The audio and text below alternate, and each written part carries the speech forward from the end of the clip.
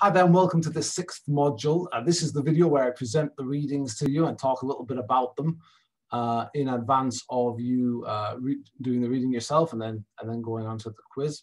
So, uh, and, and, doing the discussion as well. Um, I, I, want to talk about the two readings today. The two, um, the two readings are about education and globalization. They're both sort of uh, have something to say about education in the age of globalization but they have two fairly different perspectives. One of the interesting questions to be asking yourself while you're reading each of them is, can these both be true? I suppose it'd be when you would be reading the second one, right? You'll have read the first one and then you'll be reading the second one and say, are these both true? Are they both, uh, are they on the same side or are they on opposing sides? Right? Because we certainly do have different perspectives. One is more of a sort of a, uh, a Western perspective. Uh, the, the, writer is sort of concerned with uh, Western Europe uh, primarily and, and, the United States and and, and its position in the world with regards to uh, the sort of the, the, high high skilled workers uh, and the education that they uh, receive. The other one is looking at it from the perspective of, uh, of, of, of, the Islamic world uh, and the effects of sort of a perceived Western dominance uh, in education, right? And so, so those two things, they certainly relate, right? That they, they might be both sides of an argument, but but actually, I think you'll find when you read them both that they're not really disagreeing. Um, well, not on everything. They are actually probably disagreeing on some things, right? So, so watch for that. They both also sh share some commonalities in sort of the the, the the, the warnings that they give, right? Um, and I think if I had to synthesize the two in, into one particular warning, uh, it would be this something along the lines of like Western education doesn't afford the West the advantage that it thinks it does, perhaps. Okay, that might not be quite capturing the Islamic one yet, uh, but we're, we're getting fairly close. Maybe more at a more basic level, there's some sort of problem in the conception of Western education uh, or, or, the conception of education in the West, perhaps, which, which is two slightly different things. So uh, that's my attempt to sort of synthesize them both uh, and see if you agree with me on that or not. Uh, because this is my interpretation of these readings, of course. And you should, you know, I, ho I hope if you've got anything from this class, one of the things that you've got uh, is a, an opportunity to uh, develop your own interpretations of these readings, right? To practice doing that, right? To having your own reading, uh, your in, again your understanding, your interpretation, and and sort of uh, communicating that to other people, and that's what uh, I think you've been doing throughout the class, and so um, so hopefully that's that you feel like that's that skill is is being developed. so I, I, want to talk a little bit about both of the papers in a little bit more detail. I think I've presented them. Uh, I've set set up the scene, if you like. They're both talking about education, and, and, particularly education under globalization. Right? What's this new conception of education? Um, and one of it again is, is is from the West, and one is from the Islamic world. And the one from the Islamic world is sort of suspicious of a Western education, a globalized education in that seems to be allowing for a Western model of education uh, to, to, to permeate the world, right? And this is another, this is another, um, this is another thing that they probably agree on, right? Both of these papers probably agree that, that, that a particular kind of education, right, is permeating the world through globalization. So it's this idea again, right? Remember, you've already done a paper on this, some of you. Uh, this was one of the options, I think. But you know, is globalization just Americanization? Right? And certainly the, the one that, that we see from, from the perspective that we get from the Islamic world in this week, in this one particular reading, is that uh, is yes, yes to that, right? And so you'll see some arguments as to why that that seems to be the case from that particular uh, uh, from from Razak, right, from the particular author, um, and what that means, uh, and, and and what the Islamic world should do in the face of that. Uh, from the other article, what you'll what you'll see from the uh, the Brown et al. article is what you'll see is some um, uh, again sort of a warning that the, the, Western education is something not quite right, though, though it's expanding. It's not going to afford because it's expanding. it's not going to afford the West the, the dominance that they might expect. Right, so this is probably a point of disagreement where the, the, the, the one that we read from Razak says, no, actually, the Western education system's coming to dominate the world system, uh, dominate education systems all over the world. Uh, and that's uh, a threat to, to other cultures. Um, and the, the one from the West is saying, no, no, um, actually, you know, this, this dominance of the, of the sort of Western academic higher education system in particular is leading to the downfall of the West, at least the, the, the, the erosion of, the, of, of Western dominance. Uh, and so let's talk a little bit more about that, that first paper. The idea here, right, is that um, governments generally and, and uh, multinational corporations, transnational corporations, TNCs, have been sort of converging on this idea that we that, that the way forward economically in, in, in, a globalized world is a highly skilled workforce. Government policy um, and, and again, transnational corporations as part of that perhaps, and, and also as, in terms of what they want for their own companies, is it's a race for talent. Let's make as many university graduates as we can. Let's, let's have as many highly skilled, highly educated workers as possible in our country. And then obviously for transnational corporation, let's hire the, the most uh, highly educated, the most uh, best trained uh, workers because this is what's going to give us the competitive advantage in the world economy. And the argument goes something like this, right? That, that, that as, as we become globalized, uh, we can't anymore really as a nation state uh, prevent competition. We can't, you know, the sort of principles of globalization, um, not that we don't want to, right? Perhaps, maybe we want to, but even if we do want to, we, we really can't uh, fight back against globalization. This is why some of these papers, I think, are a little bit old. They sound a little bit old-fashioned, right? Because, of course, uh, some some uh, some political parties in Western Europe and in North America, some sections of the Republican Party, for example, with Donald Trump. Well, and even to some extent, I think within the, the Democratic Party in the United States, you know, uh, are more and more advocating for that. Well, let's actually uh, draw back a little bit from glo- from globalization, but but let's uh, let's put that aside, right, and go back a little bit like go back 10 years or something like that. Right. So so uh, this this this paper sees it. Okay, governments can't fight globalization. Right? That they're involved in this competition now. And um, what's going to happen, right, is that the countries are going to become differentiated, right? They're going to specialize as, as they always have done. They used to be specialized in particular products. Well, the specialization that talks about a lot in this paper is this sort of distinction between what they call head countries and body countries. All right, so the, some countries are going to play the role of the head. What they mean by that is they're going to have uh, knowledge-based economies.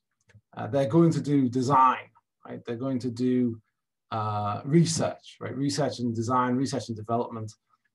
Um, uh,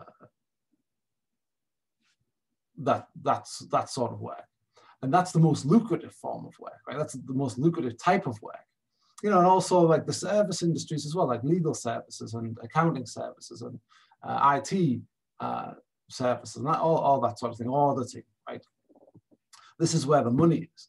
Um, designing the systems, designing the products, uh, designing the, the machinery and, and, the, and, the, technology that's going to uh, allow the body countries to create uh, the products that we all need all over the world, the product and services perhaps as well that we all need elsewhere in the world. So um, so in order to make sure that we maintain our status as, as, a, as a head country rather than a, rather than body country, uh, we need to produce a lot of university graduates. And so you'll see, um, I, I, think I saw when I left the UK, I think we, uh, which was back in uh, when 2007, that recently a government, uh, the government had recently um, issued a target to have 50% of the workforce be university educated, right? At that point, it was, I think, about 20%, right? So it was a, a big uh, expansion, right, of, of, of higher education. And, and this was the reason, right, that the future is about highly educated, highly skilled uh, workforce. Um, and this article actually sees a problem with that, right? Uh, with that whole conception of the world and uh, points out that problem. And that's really the, the sort of the argument of this uh, Brown et al. article, right? Is that look, um, we find it, we do find a massive expansion of, of higher education and highly educated, highly skilled employees, people um, being produced in the West. But, but actually there's more, more university graduates coming out of Chinese universities now. And so to think that this gives the, the West any sort of competitive advantage is actually a mistake. And, and, and, and for transnational corporations to be uh, basing their research and development arms, you know, perhaps their marketing arms and the, those sort of more um, sort of, again, head type, um, uh, thinking type uh, uh procedures and, and, and uh, functions in Western countries, that's starting to make less and less sense uh, because, of course, in the Western countries, you still have a fairly high cost of living, and so you, you have to pay for those highly skilled workers, and that's okay if that's the only place you can find them. But now that China is producing more university graduates, right now that it's producing more engineers, now that India, for that matter, is producing more, I think it says in the, in the article, and this is probably an interesting hook to get you in, into the article, but in, in India, there are, the, India is producing more engineers, no, it's Asia. So India and China and, and the other Asian countries. So Asia is producing more engineers than the West, than Western Europe and North America combined. So, so it's starting to make less. And, and, and later on in the article, it mentions, look, you know, we can pay fifteen thousand dollars for an engineer, or we can pay ninety-five thousand dollars, right, for a skilled worker in Germany or something like that. So, um, so that so that that that advantage that, that the, the, the West, Western countries, Canada it mentions, the UK certainly, the United States, uh, which has been for a long time a leader right, in producing highly ed educated uh, uh, um, workers. Uh, this comparative advantage is going away, right? And so, to, and so we might want to rethink what we're doing uh, if, if we think that this is sort of the, the future. Um, so that's that's that article, and so uh, you'll see in there some um, questions in the quiz, right, about well, well, certainly about all those things that I just mentioned, but also things about you know, there's a UN survey that does a does a uh, it's, it's a survey of transnational corporations and asking them where, where are you going to locate your, your research and development uh, functions of your business, right? Where's the most, you know, and, and you'll see, right, that um, there's some people on that list, some countries on that list that you'll expect to be on that list, and others that you might not expect, or, but, but maybe you do, maybe you expect all, all the right things, but, but, you, but you might not expect. Uh, certainly not if you're using that model that, that Brown et al. is arguing against, right? This, the, the model that, you know, there's and I've taught this model probably, right? I've been teaching this in other classes, right? I've been saying these things, right? That look, um, you know, if you think about the core periphery, the Wallerstein sort of thing, and, and, and the core periphery functions uh, of the world economy, right? The core economy has the leading products. Also, like the, it's it's the the functions that add the most value so think of, of, of, a pair of, and this is what I've been teaching elsewhere, but think of a pair of Nikes, right? And the Nikes themselves, like the actual shoes, right? Where you get the raw, the, the, the materials and you stitch them together and you form them into a shoe. That, that production part, that manufacturing part, isn't where the value is added, right? I mean, you know, the, the raw materials are, are, pennies and then the actual labor and the, and the machinery that the, the labor is used to, to, to, to form them you know, that costs, I don't know, like a dollar or two dollars per pair of shoes, right? So, so that's not where the value is being added. The value is being added in, in the design probably of the shoe, right, which is taking place, uh, is it Washington or in, in, the Northwest is Nike's based. Right? The design is maybe being, is being done, the, the, the, the marketing, right, which is another big uh, part of where the value comes from in terms of uh, sports, uh, sports people endorsing the product, wearing the product, you know, advertising campaigns and that sort of thing. You know, that's adding the value. That's where they cost $60 instead of like $5 a pair. Uh, and that's been done predominantly like perhaps in the United States, right, or in other Western countries. So, so that's the, that's, and of course the manufacturing is done in, in Southeast Asia, right? So that's the, that's the, um, that's the traditional sort of way of thinking about globalization. And so, of course, now uh, if, if, if you're in America, you know, if you're in, if you're the American government, you want to continue to produce people who are innovative in design, uh, who are, you know, sports technologists who understand understand feet, understand um, running, understand sports, and generally understand what uh, the sort of the mechanical forces that go down into in, into shoes uh, and that apply the stresses that place on feet and legs and probably the whole body um, and how shoe design can uh, change to, to support that and, and to, to help athletes become even more competitive to give them that slight 1% um, advantage that they need. Anyway, so so that's all those you've got to be producing all those people and then marketing people right, who know psychology right? Consumer psychology.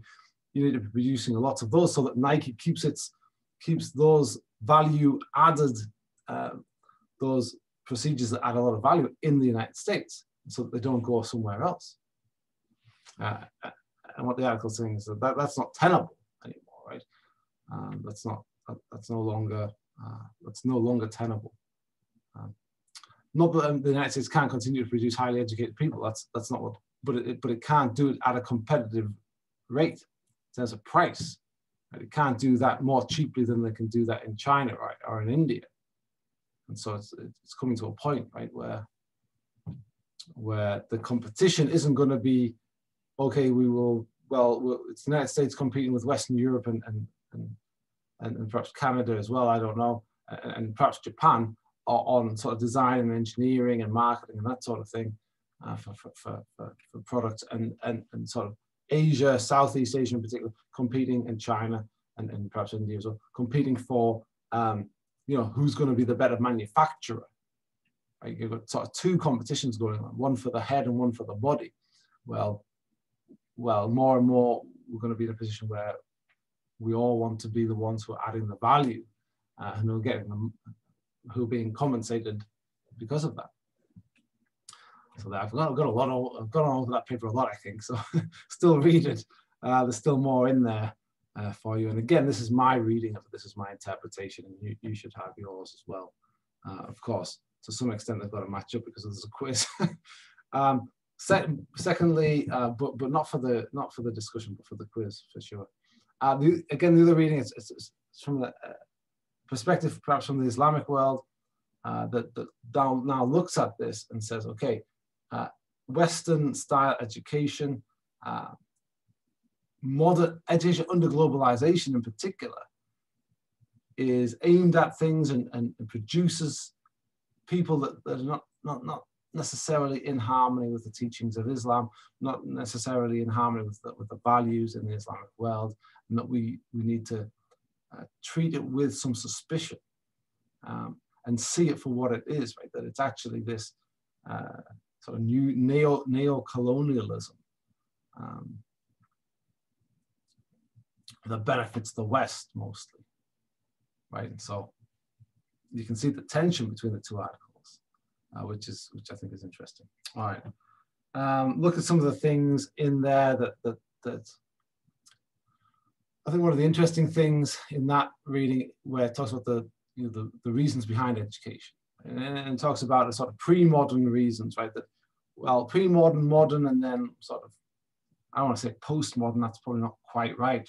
Uh, sort of more materialist, more globalist, third reason behind education. But the first one, right, is you know, education originally is about creating people, creating people who could live good lives, virtuous lives, perhaps, and also uh, who could even survive and, and, and live a good life in the, in the afterlife, right? Um, you know, and then it becomes perhaps more in the modern period of, of nationalism, right? It becomes perhaps more education with public education, it becomes more about instilling values, uh, civic values, and patriotic values, perhaps, in the whole population of the nation. Right? And then, of course, uh, giving them some skills that will allow them to serve the nation. And uh, the argument is that under globalization, uh, education is becoming much, much more aligned with um, sort of selfish motives where individuals want to uh, get material rewards, material benefits. And so the way to do that is through, through knowledge. And of course, that fits, I think, quite nicely, right, with the whole argument of that first article. Um, in terms of, you know, what, what are we educating people for, right? And it's to make money, right? It's to, to be competitive in the global economy. Um, uh, of course, the first article does do that from sort of a national perspective rather than an individual perspective. But uh, I think the assumption in, in, sort of neoliberalism, right, is that the national uh, interests uh, sort of somewhat similar, or at least in harmony with individual interests, right? That the, more money individuals make, the more entrepreneurial, the more businesses individuals set up, the, the better off the nation is as a whole. Um, so. Um, so yeah, that, that's some other ways where they really sort of come together and overlap. So I hope I've set that up nicely for you. I don't want to give all of the second one away as well. And certainly like, there's more to the first one than, than I've been able to cover in this uh, period of time or so I haven't just read it out to you. Um, and I've given you some of my interpretation there. So yeah, hopefully though that again, the idea behind these videos is it gives you enough of a start so that you know what you're going into when you do the reading uh, and you have a, a frame of reference uh, as you start. And and also so like, hey, maybe you find some things that you disagree with. Uh, you know, there's certainly some things where I could have gone either way in the video on. Uh, so yeah, anyway, again, uh, do the reading. I hope you'll enjoy it as much as I did. I'm, I was enjoying our readings. And again, this is the last, this is the last module uh, I've made this video in, in spring 2021. Uh, and so if, if, if you're doing it in 2021, which I know the next people to watch this will be, uh, you have a little bit of extra time uh, in this uh, module, uh, which, you know, given that the, the final essay is coming up, um, that should give you some time to do the, the normal uh, weekly tasks and also have a little bit of extra time for your essay as well. So I wish you the best in that. Uh, thank you very much for participating. I've enjoyed reading your work this semester, but no doubt this is an enjoyable class and, and, and students generally coming in uh, into this class and, and, engaging properly with the work produce some interesting work that I uh, enjoy reading and discussing. So um, thank you for that. And um, I will leave it there again for this week and look forward to grading your, your final essays.